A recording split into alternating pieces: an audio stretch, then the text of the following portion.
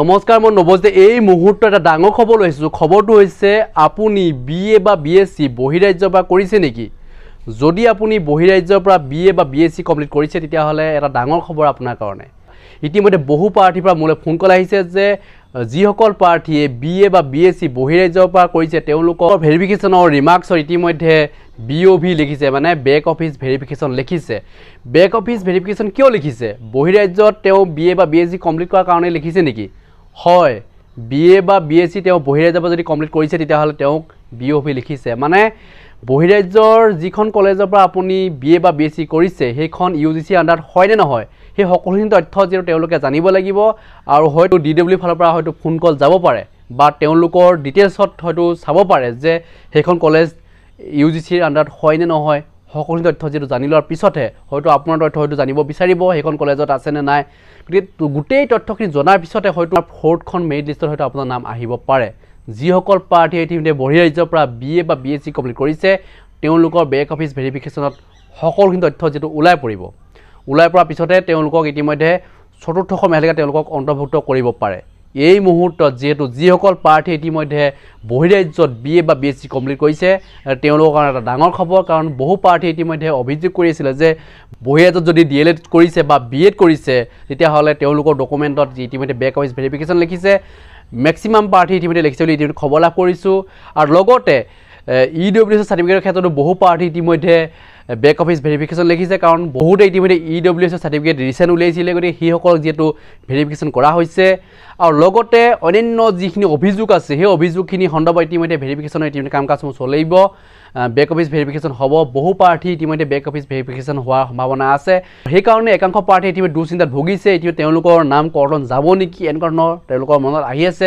গতিকে সেইসকল প্ৰাৰ্থীক মই জানিব বিচাৰিছোঁ যে যদিহে যদি ডকুমেণ্টত কোনো ধৰণৰ গণ্ডগোল নাই তেতিয়াহ'লে আপুনি চিন্তা কৰাৰ কোনো প্ৰয়োজন নাই। কিন্তু একাংশ প্ৰাৰ্থী হয়তো ডকুমেণ্টত খেলি মেলি থাকিব পাৰে। সেইসকল প্ৰাৰ্থীৰ হয়তো নাম কৰ্তন যাব পাৰে যিহেতু এই ক্ষেত্ৰত যিহেতু অভিযোগ কৰি আছিলে বহু প্ৰাৰ্থীয়ে কাৰণ বহুতেই যিহেতু নাম অন্তৰ্ভুক্ত কৰিবলৈ সক্ষম হোৱা নাই। এই খবৰ আমি লাভ কৰিছোঁ।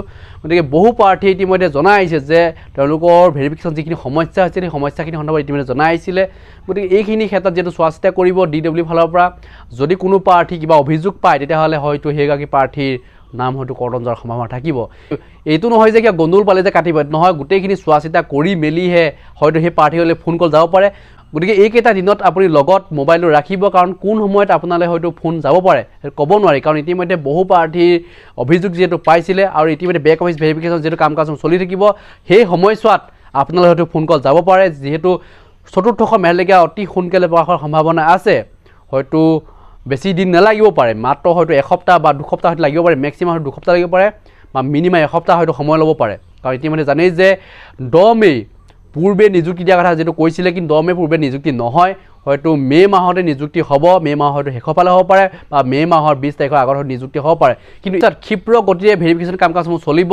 গতিকে এই চলি থকা সময়ছোৱাত আপোনালোকে পৰাপক্ষত মোবাইলটো লগতেই ৰাখিব। কাৰণ কোন সময়ত হয়তো আপোনালৈ ফোন কল যাব পাৰে ক'ব নোৱাৰি। গতিকে মই ভাবোঁ যিসকল প্ৰাৰ্থী ইতিমধ্যে বেক অফিচ ভেৰিফিকেশ্যন লিখিছে তেওঁলোকে লগত মোবাইলটো ৰাখিবলৈ নাপাহৰিব। আপোনালোক যদি কিবা গণ্ডগোল আছে ডকুমেণ্টত যদি কিবা খেলি মেলি আছে তেতিয়াহ'লে আপুনি এতিয়াই ঠিক কৰি লওক।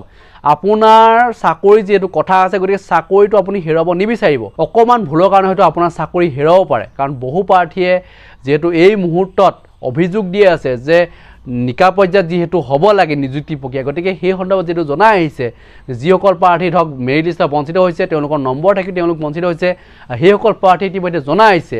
ডি ডব্লিউক জনাই শিক্ষামন্ত্ৰীক জনাই আহিছে মুখ্যমন্ত্ৰীক জনাই আহিছে প্ৰতি মুহূৰ্ততে। গতিকে এই সময়ছোৱাৰ ভিতৰত যিহেতু ভেৰিফিকেশ্যনৰ কাম কাজসমূহ চলিব যদি আপোনাৰ ডকুমেণ্টত কিবা গণ্ডগোল আছে যিহেতু ডি ডব্লিউ জনাব পাৰিব গতিকে এই ক্ষেত্ৰত যিহেতু আমাৰ ফালৰ পৰা সহায় কৰা হৈছে বহু প্ৰাৰ্থীক তেওঁলোকৰ ডকুমেণ্টৰ ক্ষেত্ৰত যিখিনি গণ্ডগোল আছে মই কৈ আহিছিলোঁ যে আপোনালোকে ডকুমেণ্টসমূহ ঠিক কৰি লৈ যাব আপোনালোকৰ অৰিজিনেল ডকুমেণ্ট লৈ যাব। এখনো যাতে ডকুমেণ্ট আপোনালোকৰ ঘৰত যাতে থাকি নাযায় সেইকাৰণে মই জনাই আহিছিলোঁ পূৰ্বৰ ভিডিঅ'সমূহ জনাই আহিছিলোঁ। গতিকে এতিয়াও জনাম যে আপুনি যদিহে আপোনাৰ ডকুমেণ্টত যদি গণ্ডগোল আছে তেতিয়াহ'লে আপোনাৰ ডকুমেণ্টখিনি ক্লিয়াৰ কৰি ৰাখক। কাৰণ কোন সময়ত হয়তো আপোনাক গুৱাহাটীলৈ মাতিব পাৰে হয়তো ক'ব নোৱাৰে। ইতিমধ্যে বেক অফিচ ভেৰিফিকেশ্যনৰ পিছত হয়তো আপোনাক হয়তো নিমন্ত্ৰণ কৰিব পাৰে। এইখিনিয়ে আছিলে আজিৰ ভিডিঅ'টোত। আশা কৰিছোঁ ভিডিঅ'টো যদি চাই ভাল নিশ্চয় লাইক এটা কৰিব কমেণ্ট কৰিব আৰু ভিডিঅ'টো পাৰে শ্বেয়াৰ কৰি দিব। ধন্যবাদ।